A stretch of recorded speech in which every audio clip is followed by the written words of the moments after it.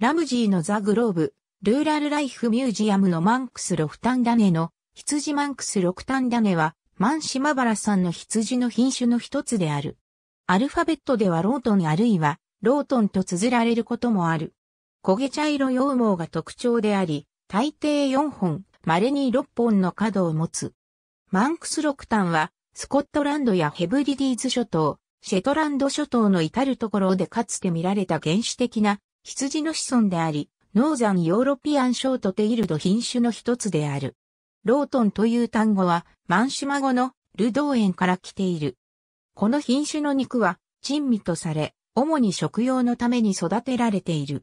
最近は、原産地呼称保護制度のもと、EU の承認及び保護を受けている。イギリスで登録されている繁殖用のメスが1500頭未満であることから、マンクスロフタンはRare Breeds Survival Trust によって at risk に分類されている。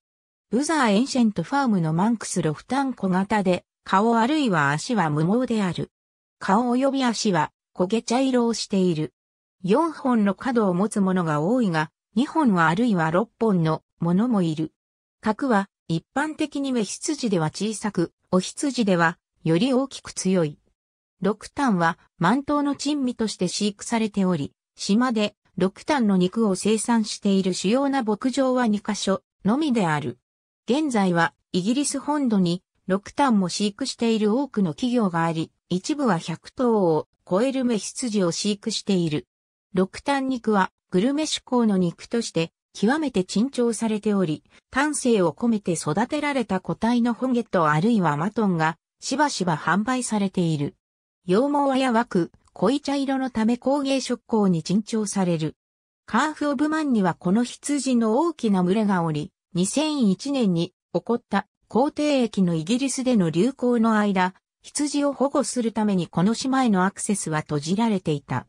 皇帝駅はカーフ・オブ・マンへは到達せず、欧州大陸への肉の輸出は継続された。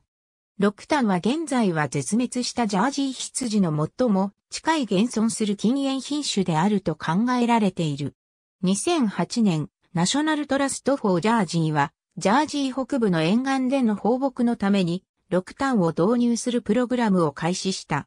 ありがとうございます。